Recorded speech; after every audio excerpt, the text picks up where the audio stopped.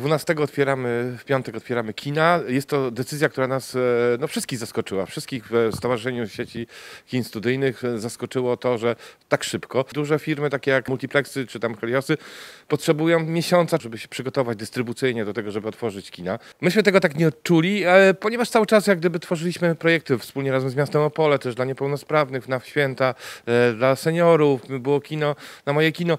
Od poniedziałku trwają walentynki, gdzie jest aż 8 bloków walentynkowych, które można na naszej wirtualnej sali na www Moje Kino oglądać. Więc e, my jesteśmy i gotowi, czekamy. Wszyscy nasi, e, że tak powiem, e, wolontariusze, ludzie, którzy na co dzień wspierają kino, czekali tylko na sygnał, kiedy można tutaj przyjść i no pierwsza reakcja była wszystkich taka, hurra, no wreszcie kino, wreszcie, wreszcie możemy przyjść i stacjonarnie oglądać film, bo wszyscy mamy już dosyć tego siedzenia w domach i oglądania tego cały czas na telewizji telewizorach, laptopach i wszystkich urządzeniach mobilnych. Jednak będą obowiązywały pewne zasady, są te obostrzenia, które także kina będą obowiązywały. Jak to będzie wyglądało w Meduzie, ile osób będzie mogło zasiąść na seansie? 50%, dystans, maseczka, dezynfekcja, wszystkie te warunki są spełnione. W kinie naprawdę jest bardzo, bardzo bezpiecznie. Ale jeżeli ktoś się będzie bał, to mamy też niespodziankę, no cały czas mo możemy odsyłać do naszego cudownego e, Moje Kino. Przygotowaliśmy bardzo dużo filmów, bo już e, aż e, 8 filmów na pierwszy weekend od piątku w tym cztery filmy dla dzieciaków, czyli dla najmłodszych widzów. Dla każdego niespodzianki, każdy, kto przyjdzie z widzów, e, kto pojawi się u nas w kinie stacjonarnie, niespodzianki mamy od dystrybutorów. Cudowną książkę Martin Eden, która premierowo już za tydzień się pojawi. Powitanie Słońca, czy chociażby e, niespodziankę filmową, bo rozpoczynamy filmem zacnym, bo wczoraj ogłoszono shortlistę nominacji, film, nominacji do Oscara i na tej shortliście, co prawda jako czeski kandydat pojawił się szarlatan Agnieszki Holland.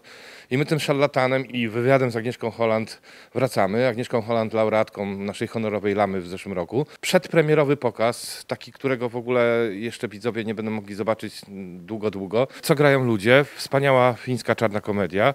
Będziemy pokazywali też e, Ksabo, cudowną historię o księdzu Bonieckim, która po prostu robi furorę we wszystkich kręgach. No i cudowna rzecz, e, którą mieliśmy zagrać, w momencie, kiedy zamykano kina w listopadzie, Baby Teeth e, i myślę, że e, ten zestaw na walentynki e, jest bardzo mile widziany. To dla dorosłych, dla najmłodszych. Filonek Besogonek, Basia, Viking Tapi, Szybcy i Śnieżni. Patrząc na pogodę, to nie mogliśmy sobie tego filmu darować, który naprawdę robi furorę wśród dzieciaków i daje inspirację do tego, co z tym śniegiem, który jest dookoła nas robić.